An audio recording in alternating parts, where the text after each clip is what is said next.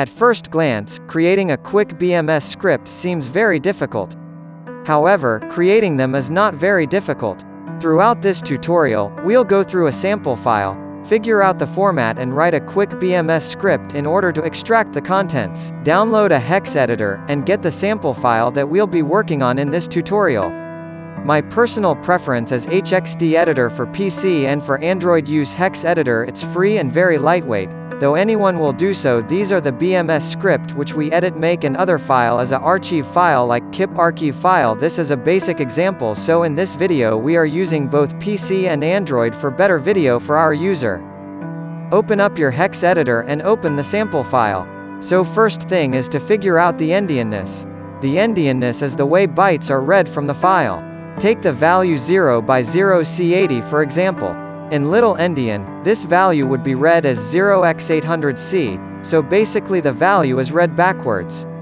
Big Endian is 0 by 0 C80, so the value stays the same. So in order to figure out the endianness, there are a few ways to figure this out. Look at the file and look for some definite values and compare. This is the method I use in order to figure out the endianness.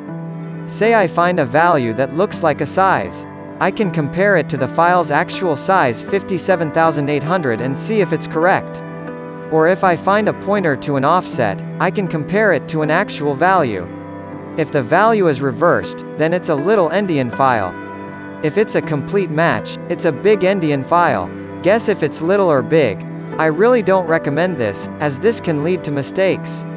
I'd recommend just using the first method, so using one of the methods above, we can come to the conclusion that this is a big endian format. However we need to set this in our script. Quick BMS defaults to little endian so we need to set our script to run in little.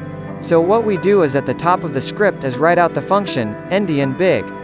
This sets our script to run in big endianness. Next, we need to read through the header to get the information we need. A header is a group of information on a file. A header can contain, but not definitely, a file size, a file count, if we're working with a archive, and a magic id. The first thing we can see is a string of letters writing out, kip. This is our magic header, so we want quick BMS to check if our file is really a .kip archive. So using the command, idstring kip xoo, we can check if our file is a kip file. But struggly, why is there a xoo at the end of our id string? I thought our magic id was kip. Well yes, and no. Our magic id is really kip oo, however, the o are read as a null, or empty value, but are part of our magic id. So toddler, our next command to write is, idstring, kip, xoo. idstring, kip, xoo. So next is a hex value that if you read above is our file size. We know this because it's equal to the file's file size in hex. So this is a 4-byte value, or a long. We read this from the file by writing out this command, get archive size long. Get is a command function in Quick BMS that allows us to read from the value using the different types of variables and read it into our script.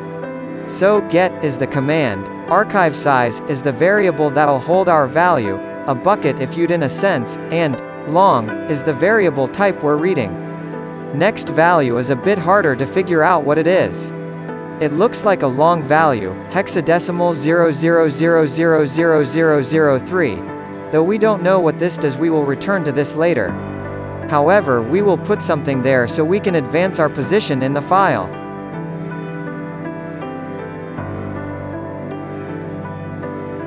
After the unknown value, it looks like this is just a bunch of zeros, so we can skip this. It's a 4-byte null value so we write this in our script. Get null long, next few values look very odd and confusing, however we'll walk through it together smiley face, so it looks like there are three values, each 10 bytes long. Gasp! That's the same amount as our unknown value. So now we know what it is. But what does it represent? Let's read on. So the first 4 bytes, looks like a pointer. A pointer is a value that points to an offset. So our 4 bytes are in pointer to a file in our archive. Next we go to our next 4 bytes. However, once again, we don't know what this is. Let's go to our pointer to see if we can figure this out. So our pointer is 0 by 40, and we navigate to that offset. This is the start of our file, which has the magic id, bres, which is the magic id for BRES files. So if we look in the header of the file, we can see a value that is the same as the unknown value. So we can assume that it's a file size next, this next value looks like a line of characters. This looks like the name of something. Perhaps, this is a file name. So the header we've been reading, is for a file. And we can go back to our unknown value and replace the unknown value name with file count. So we have the three headers for our files.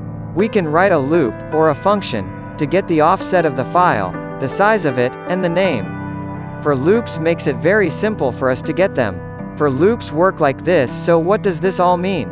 Well let's look at it. First is the i equals 0. i is a new variable, set to be 0. File count is the value we figured out earlier. Code here is exactly what it means. We put our code there. Next i is very important. Next i adds 1 to our value which equals 0. So what can we do with this loop? Well we can loop through all of these headers, get the offset, size and file name, which is all that's needed to extract the file. So if you read earlier, we know that those file headers work like this long let's explain this. Get pointer long is getting 4 bytes and storing it as the variable, pointer. Same with length. Get dstring is a function that gets a string from a file, and reads a set amount of characters.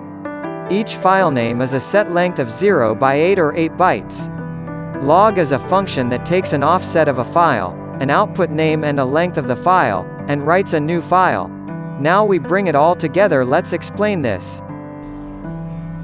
Get pointer long gets 4 bytes and saves it as pointer. The same goes for length. Get dstring is a function that takes a set number of characters from a file. File names are always 8 bytes long. Log is a function that creates a new file using an offset, output name, and file length. When you run this in QuickBMS, it extracts files from the archive and writes them to your hard drive. That's the end of the tutorial. Feel free to ask questions. Thanks for watching.